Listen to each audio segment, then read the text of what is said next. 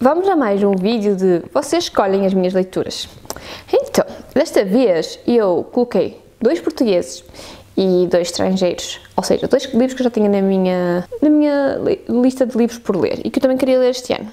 E, e o, o, outro também era, um dos portugueses também já estava na minha lista para ler este ano e havia o outro português que não estava na minha lista, mas, quer dizer, não estava, não estava na minha estante, mas estava na minha lista para comprar este ano.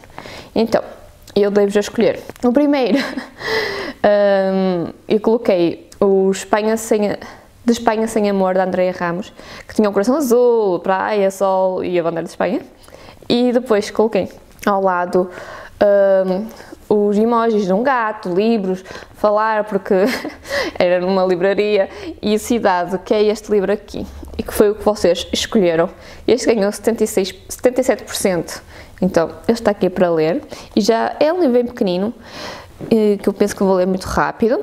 Depois eu coloquei um livro que tinha música, uma carinha assim hum, muito feliz, sabem, com lágrimas nos cantos dos olhos, um coração laranja, uh, porque eu senti que dizia para o coração laranja e acertei, que já, já comecei o livro, e uh, pus o chapéu académico porque passa-se, são estudantes, sabem, deu-me aquela vibe de estudantes e tem razão.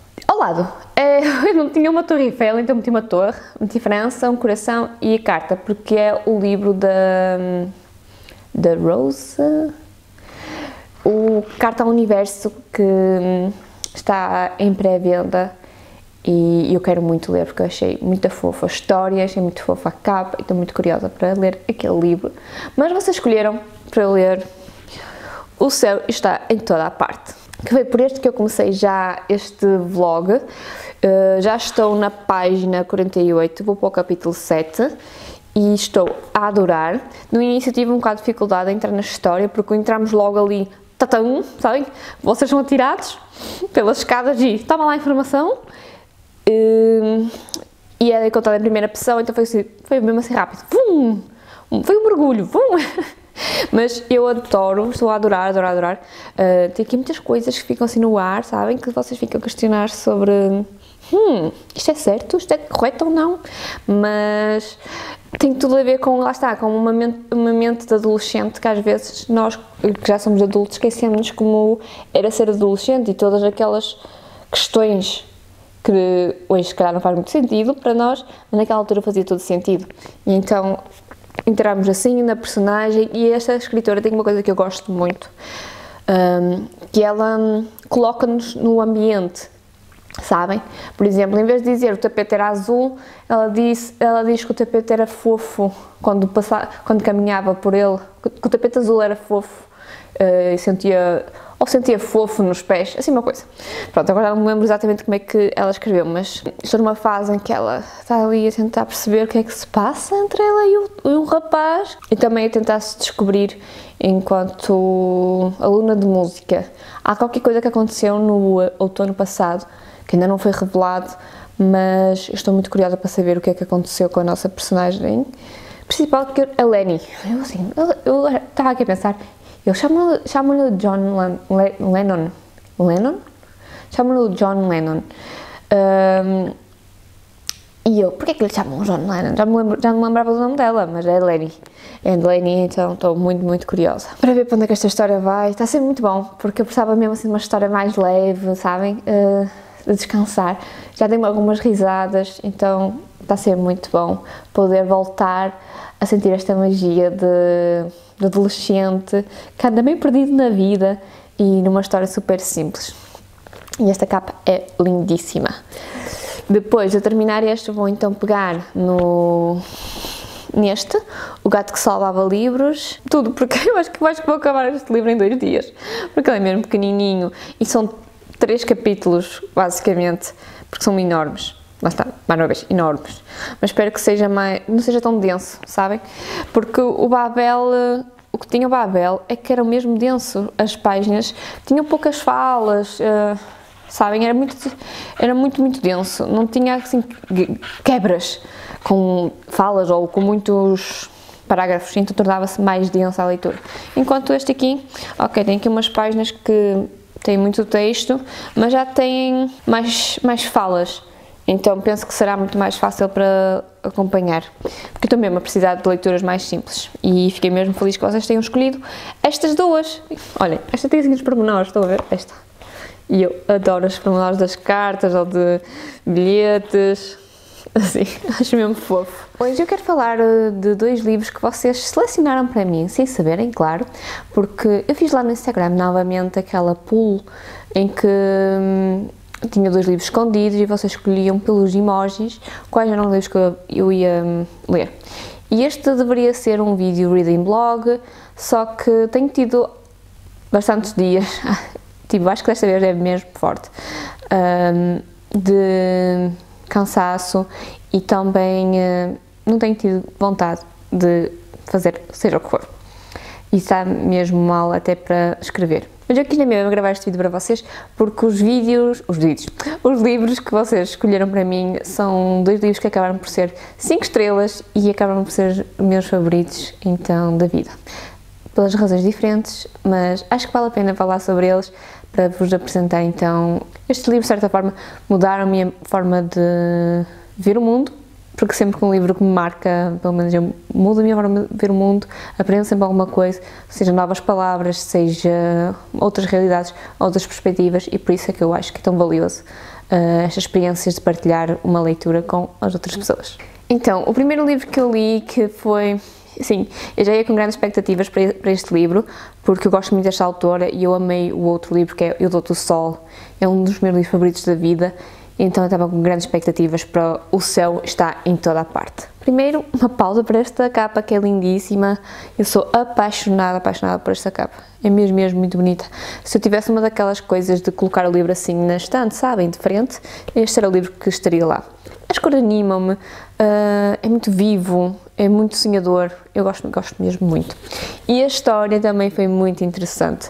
Uh, nós chegamos à história da Lenny, isso, da Lenny, que ela é uma jovem que acabou de perder a irmã e ela vive com a avó e com o tio e é muito interessante seguir a história da Lenny porque nós seguimos não só uh, ela enquanto adolescente e à procura do seu lugar e do seu espaço no mundo, mas também a, a, como é que a família e ela acaba por também estar envolvida, vive e ultrapassa o luto. É muito interessante de ver como às vezes fazemos, fazemos escolhas porque estamos mesmo envolvidas numa certa emoção e que aquela emoção leva-nos a fazer coisas que a gente realmente não queria e não entende porque é que fazemos aquilo.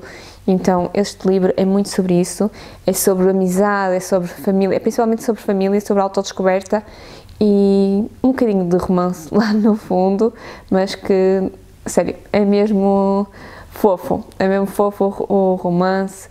Uh, eu fiquei com o coração muito apertado, eu ia da página a página a pensar: oh não, não acredito que isto vai acontecer, ou uh, eu não quero que isto aconteça. Eu tive muitos momentos tristes, também porque me fizeram refletir, que sabem, aquele momento em que as palavras tocam-vos tão profundamente que vocês ficam arrebatados, não conseguem sequer eh, explicar o que é que sentem. E é isso que eu senti então ao ler este livro. Por isso este foi um 5, um 5 que é um 6, que é, ou seja, um livro para a minha vida. A outra leitura foi então O Gato que Salava Livros e este livro já queria ter lido em dezembro, depois não aconteceu, mas sinto que neste momento em que o li foi extremamente importante, eh, porque estou numa fase de porque estou numa nova fase, numa fase em que eu fui aceite por uma editora então fiquei mesmo muito feliz. E já, foi anunciado, vocês podem ver no Instagram, eu vou deixar aqui o link na caixinha, mas depois também vou fazer um vídeo mais detalhado para, para explicar para vocês todo o processo, acho que, não sei, se vocês quiserem ver, digam acho que seria interessante de partilhar esta experiência com vocês. Um, mas é isso, e depois eu vou falar muito mais sobre isso. E então, este livro, como fala sobre livros, sobre literatura, sobre a forma como nós conectamos com os livros, o que é que, o que, é que se tem perdido. E, sério, traz muitas reflexões. E então, este livro foi muito importante para mim, até porque era uma coisa que eu já andava a sentir há algum tempo e não sabia muito bem como explicar uh, aquilo que eu estava a sentir, de entender sequer os meus sentimentos em relação a esta minha nova fase, o que é que eu queria trazer para o mundo como autora, quais, eram, quais eram as minhas preocupações e realmente o que é que, tipo, porquê escrever livros, não é? Acho que eu gosto muito de escrever livros, claro, senão não, não era autora, e principalmente contar histórias, mas acho que criei uma nova relação com, os, com a forma como eu via a escrita e como é que eu via o mundo editorial e tudo isso. Tenho uma nova forma de pensar, uh, que acho que não é nova, já é algo que era meu, mas que ainda não estava bem uh, sólida e acho que agora está muito mais. E então tudo também graças a este livro, porque este livro ah, está, fez-me refletir sobre várias coisas, da forma como nós lidamos com os livros e a forma como nós relacionamos com os nossos hobbies ou com aquilo que nos apaixona. E uh, outra coisa que este livro também foi muito bom que eu consegui finalmente escrever alguma reflexão sobre a arte. Uh, caso tu não saibas, eu sou formada em História da Arte, então eu gosto muito de escrever reflexões sobre a arte e já não fazia há muito tempo. E acho que este livro também trouxe-me esse lado de sentar-me comigo e perceber realmente o que é que eu quero e o que é que é realmente importante para mim.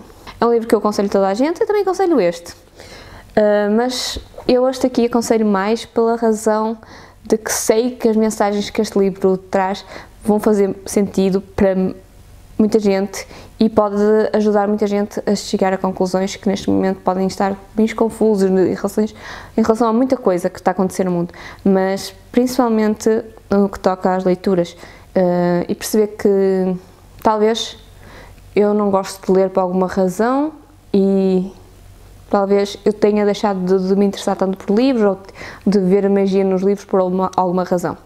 Este livro ajuda então a esclarecer todas essas questões. Não digo que vá esclarecer todas as tuas questões, mas não sei, acho que é um livro que vale a pena pela, só pelo facto das reflexões que nós conseguimos fazer uh, enquanto o lemos. E estes foram então os livros que eu li para o desafio que vocês me lançaram. Na verdade, foi eu que lancei o desafio a vocês e vocês simplesmente escolheram qual era o livro que eu ia ler. Uh, eu gostei muito, eu gosto muito de fazer estes desafios. Às vezes é bom para. Hum, para ser mais divertido, lá está, quando estamos um bocadinho mais desmotivados, sentir, eh, ter esta, este lado de interação com outras pessoas, em que, ok, vou ler este livro porque as pessoas escolheram este livro. Acho mesmo muito interessante e gostei muito de fazer este desafio. Espero que vocês também tenham gostado de assistir e digam-me, digam-me se vocês já leram algum destes livros eh, e se leram, o que é que vocês acharam? Sério, eu estou muito curiosa. Eu, eu só conheço a minha irmã que leu este, por isso, se vocês leram, por favor, digam-me o que é que acharam. E estou muito curiosa para saber o que é que vocês acham deste livro. Este livro, sim, este livro é para a gente partilhar reflexões. É diferente deste, mas os dois valem a pena.